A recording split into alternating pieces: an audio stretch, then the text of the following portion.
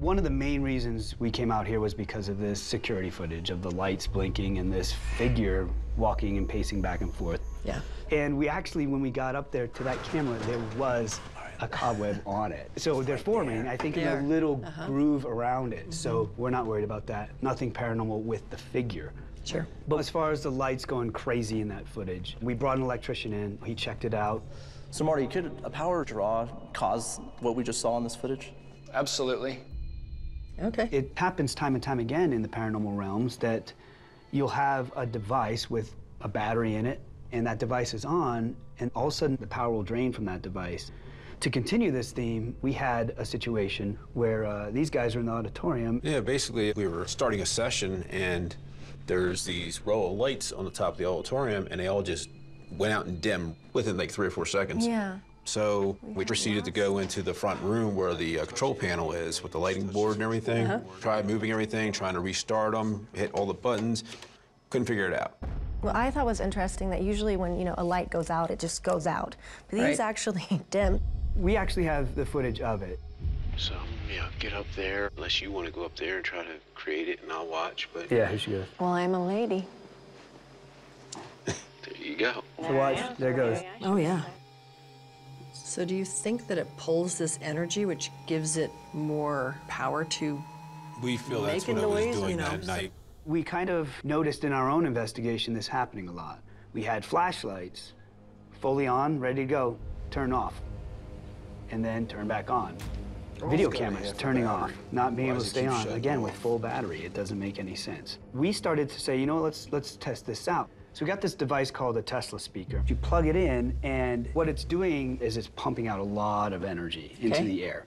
And then we put five different flashlights out, just trying to put an energy source for Sure. this entity to work with. And we had a voice recorder, and we put that down there too. We're asking for names, we're trying to see if anything can happen. And then we realized like none of the lights are turning off, nothing. We're like, what's going on? And then our investigator Brandon realized that the voice recorder had drained. What the heck? So while this was happening, we caught some voices. I'll play them for you. Okay. It's a piece of crap. See this area? Uh-huh.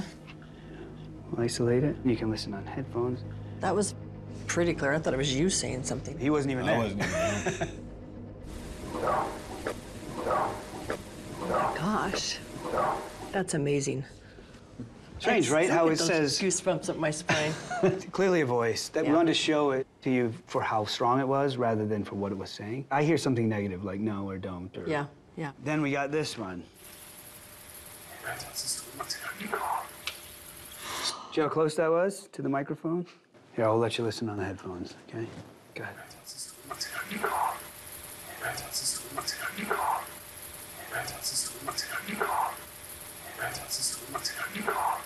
Something with a go. Yeah, it's maddening. We listened to that so many times. I don't know. At the end sounds like go, but Yeah. I don't know at the beginning. Time to go. Mm-hmm. Yeah. I think it says we have a cool principal.